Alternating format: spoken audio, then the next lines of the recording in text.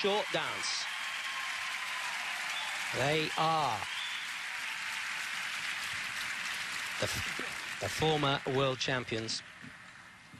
They are exquisite. The European champions. This is Gabriella Papadakis and Guillaume Cizeron of France.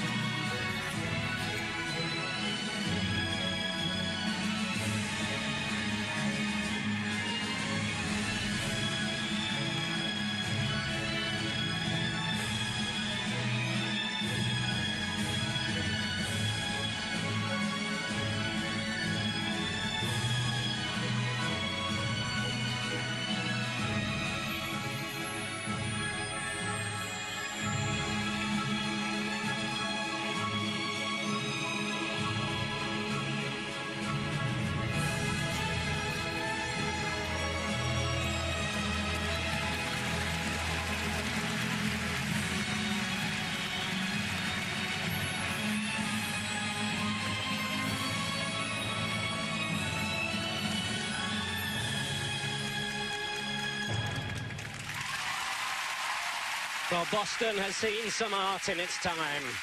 That, I forgot it was a short dance. That was sensational. It is art on ice from Gabriella Papadakis and Guillaume Cizeron of France. Just sensational. I just think it's, it's rude to talk over that quality of skating. I just, as a purist, their skating skills, his in particular, are just From off the scale. Off the scale. Gabriella Papadakis and Guillaume And, and what's amazing that these guys, they're possibly the youngest dance team in the entire event. And earlier in the season, uh, she had a concussion and she was off the ice for a long time. And a lot of people had speculated that they wouldn't be able to be competitive, having had such a, a prolonged period off the ice. But to me, when you have such ingrained good quality, that will never leave them. This couple has skating skills that are almost unbeatable that won't ever leave them. And, and I think a lot of people were incorrect in assuming that they might be off the mark this year. I made a point of watching her Oh, really? because I watch him. Oh, yeah, I yeah. love his skating. He, he's And phenomenal. I made a point of watching her. And if you just watch her, uh, for me, she's just absolutely amazing. Good. every eye line, every neckline, every extension, every movement. And it's the, the complementariness of them together, which is extraordinary. Well, yeah, that's interesting. And I think the person that needs praise here and a little shout out is her mother because Catherine Papadakis was their coach initially for many, many years uh, in, in the mountains in France. And I think that it's her work which is embedded in them that quality. There's no doubt that the French uh, have always produced good quality ice dancers, and most notoriously Muriel Zazoui and, and now uh, Romain Haguenauer. But I think a big lot of respect has to be given up to, to Catherine Papadakis, who, who really is, has given them a quality that is, is making them the reigning world champions. And part of it is natural for him, isn't it? His his natural flexibility, softness. But if you just look at look at her all the time, everything. It is complete theatre, and we've seen great theatre tonight. It's been a, a superb event. But wow, Yeah, and I mean, for me, I, uh, my pupils will laugh because I'm always referencing him because I, I do think his skating skills are so impeccable. But they're only world champions because they're both strong. yes. And it's nice to hear you praising her so much too. Well, what an evening we've had. The judges, you can go where you like now. You can put the tens out. You don't have to hold back. Shibutani is in the lead at the moment. The highest they've had is 71.94 for a short dance. Please do more than that. Oh, thank you. 76.29. The highest they've had by five, nearly five points. Has them in first place. So, so well deserved. We hope you enjoyed the short We did enjoy the short dance competition. Thank you, announcer.